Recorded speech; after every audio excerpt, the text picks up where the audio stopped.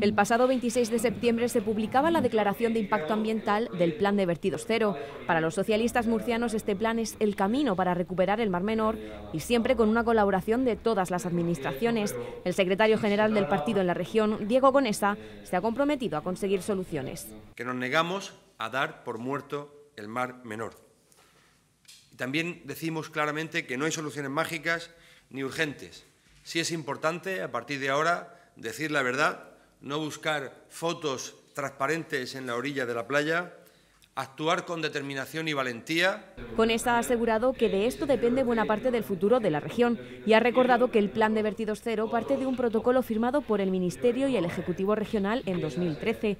El objetivo es conseguir un equilibrio entre la recuperación de los valores naturales del Mar Menor y el aprovechamiento de los recursos productivos del campo de Cartagena.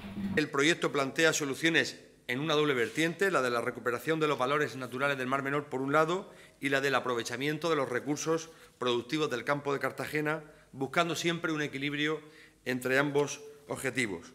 Lo que se busca es una tendencia a la reducción y eliminación de aportes hídricos contaminados. Con esa ha recordado que el Gobierno regional es el principal responsable en este asunto, pues de las 21 medidas que contempla el proyecto, el Ejecutivo Autonómico participa directa o indirectamente en 19. Lo que es el mes de octubre. Pues vamos